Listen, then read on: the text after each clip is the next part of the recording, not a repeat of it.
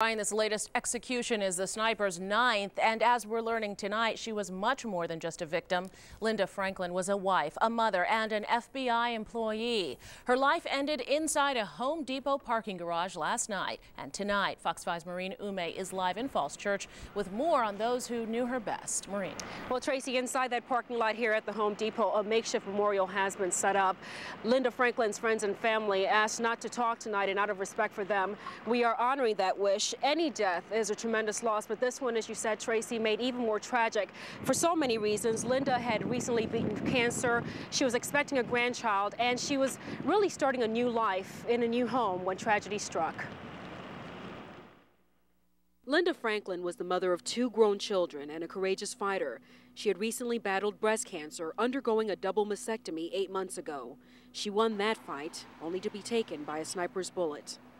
Linda was a loving wife and mother who watched out for everyone in her family, and her loss will affect everyone.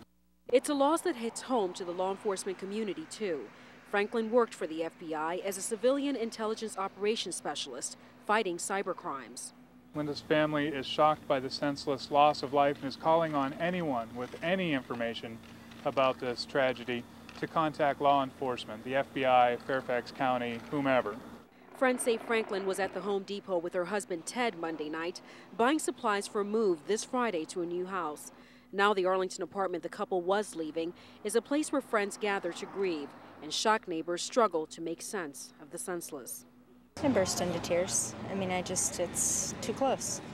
Oh, it definitely was. It definitely hit home. Actually, after we found out it was our neighbor.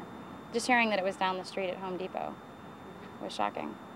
And at the Home Depot, candles and flowers now rest where Franklin was gunned down, a makeshift memorial for another innocent victim of the serial sniper.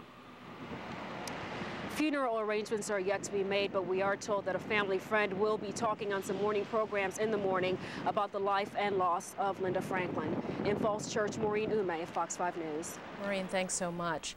The city of brotherly love today showered some of that love on the family of one of the sniper's other victims. The mayor of Philadelphia was among hundreds who turned out today for a memorial service to honor Kenneth Bridges.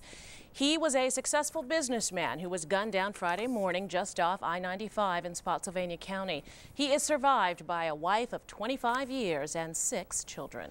Now our coverage on the serial sniper continues right after this quick break. Still ahead, reckless and out of control. That's how one former FBI agent describes the killer, what he thinks will happen by the end of this week.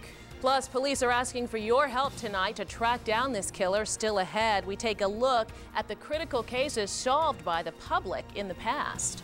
I'm Sue Palka. Light rain falling now. It's going to get much heavier very soon, and the wind is really starting to pick up around the region. I think you're going to need extra time for that morning commute. I'll have details a little later.